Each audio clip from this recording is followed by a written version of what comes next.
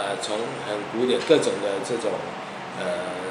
古今中外这样龙的形形，它的颜色什么，呃，其实也就考虑参考的东西很多，也考虑很久。那呃，最后我就把它放弃了，就是呃不想在这个呃传统的呃在我们这种呃龙的文化里面去找它的，它找它的脉络，干脆就另辟一个，就从呃我是学艺术的，比较喜欢比较呃理性思考，比较学术性的呃呃那那关于呃绘画或呃的发展，它比较。想找一些观念东西，啊，把它呃更抽象一点，更简洁一点，让它去发展，呃，所以其实我也是参考了六零年代、七零年代一些非常枯燥无味，可是非常非常学术性的观念艺术的一些一些经典的艺术家里面，去找到了一些呃，就符号性蛮强的，那它有一些动势很强的东西，我加以在。加以改变，就是它是一个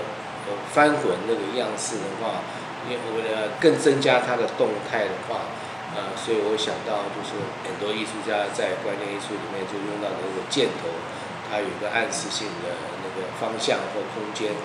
啊，所以我使用这个符号啊放在这个呃翻转的这个龙里面，有点像数学，有点像气象学这样子的一个图形放进去的时候，它其实它变成双重的意义。就是它里外就有点双重呃翻滚的样式在里面。那我们也知道，因为我们呃东方人对色彩学的解释跟西方是不一样的，因为我们的颜色都是用人里面的气啊，它的动势，它每一个层次它的颜色都是不一样的。那既然这是一个龙是出自比较东方的，那我想把这个符号里面用颜色来再来转换。啊那变成就是说有五行的感觉啊，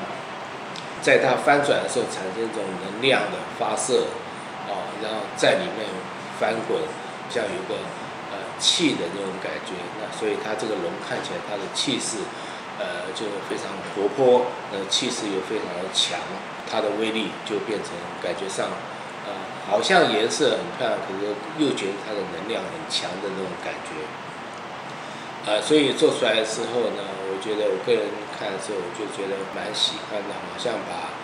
这个时代比较文明的这种艺术的进化，然后加上呃呃古老龙的这种形象的印象，啊，把它呃两个很，我认为说它是不同的领域的东西，把它结合在一起，变成一个新的生命的再出发。那我觉得这种气势呢，也是感觉上还符合这个时代所谓全球化经济这些问题的问里面，那它产生一个新的一个方向，啊，新的一个象征的一年。